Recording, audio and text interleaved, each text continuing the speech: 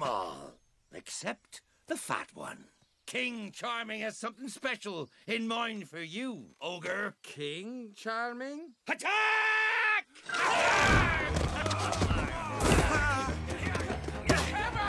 Come here, you Artie, duck!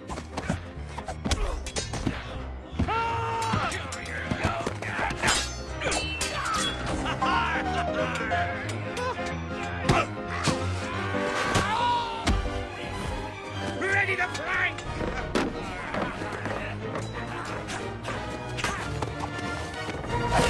Shrek!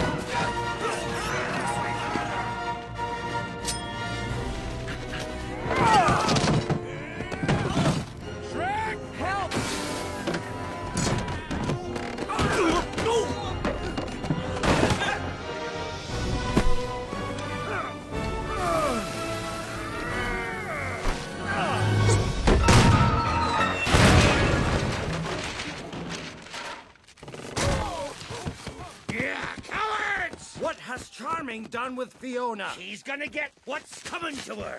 Ah! And there ain't nothing you can do to stop him! We've got to save her. But she's so far, far away. Oh dear, groaned Thomas. Gordon was alarmed. Oh dear, sighed Toby. I wish there was something we could do to make things better again. Yes, indeed, replied Thomas, but what? We can't mend broken trees. Get yourself back to Worcestershire, kid. No, Shrek. Hold on a second. I- I've got an idea. I'm a buzzing bee. Buzz, buzz, buzz. Mr. Merlin, they need a spell to get them. I, I- I mean, us, back to far, far away. Forget it. I don't have that kind of magic in me anymore, kid. How about a hug instead? Hmm? That's the best kind of magic. Mr. Merlin, please. I know you can do it. I said, forget it. But-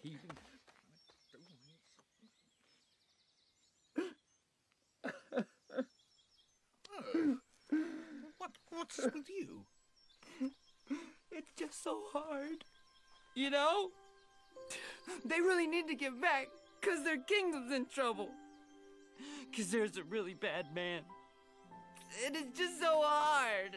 Come on, take it easy. No! I don't think you understand. There's a mean person doing mean things to good people. Oh, have a heart, old man. And they really need your help to get them back. So why won't you help them? Oh, I just want you to know the thing about it. okay. I'll go and get my things. Piece of cake. Well, well, well. You want some eggs with that ham?